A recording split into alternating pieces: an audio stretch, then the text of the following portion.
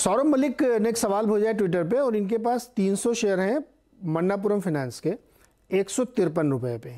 Long term के लिए hold करें। क्या इनको एवरेज कर लेना चाहिए? देखिए एवरेज तो मैं नहीं कहूँगा, लेकिन आप इसमें आप होल्ड ज़रूर कर सकते हैं। अगर आप इसके वीकली और मंथली चार्ट देखेंगे तो इसने एक असेंडिंग ब्रॉडनिंग वेज पैटर्न बनाया और उसके जो जो हमने क्लाइंट्स को भी सुझाया था नाइन्टी फाइव नाइन्टी सिक्स के आ रहा हूँ वहीं पे इसके अच्छे सपोर्ट्स हैं। तो एड मुझे लगता है यहाँ पे एड सर्च करना चाहिए बट इसमें बने आप रह सकते हैं जब तक वो सस्टेन होता है लेवल एक बार अपसाइड आपको जो है 150 तक के लिए देखने मिल सकती है, वहाँ पे आप रिव्यू कीजिए। ओके ये रहा है इसमें। अच्छा मनीषा रॉक, ये इनका ट्विटर हैंडल है। और इन्होंने सवाल पूछा है कि इनके पास डी के तिरसठ शेयर है 63 भाव है 379 एक साल का नज़रिया क्या होना चाहिए?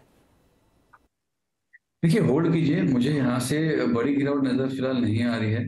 और मैं मैं ये कहूँगा कि आप इनफैक्ट थोड़ा सा लंबा नज़रिया रखिए, दो ढाई साल का रखिए।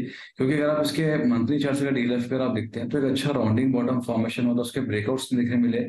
अब वो रिटेस्ट के लेवल्स पे आ रहे हैं। वो लेवल्स थोड़े टू के आसपास के हैं।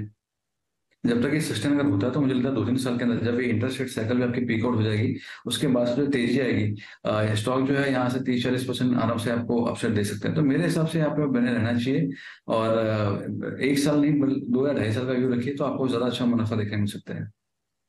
ओके, दो सवाल बड़े इंटरेस्टिंग है, गौरव। एक कन्हैया ने पूछा है और एक तीर्था दास ने। कन्हैया ने यह पूछा है कि HDFC बैंक और SBI में लॉन्ग टर्म के लिए एंट्री का रेंज क्या है? बता दें कि मनी कंट्रोल पर दिए गए विचार एक्सपर्ट्स के अपने निजी विचार होते हैं। वेबसाइट या मैनेजमेंट इसके लिए उत्तरदायी नहीं है। यूज़र्स को मनी कंट्रोल की सलाह है कि कोई भी निवेश निर्णय लेने से पहले सर्टिफाइड एक्सपर्ट की सलाह लें।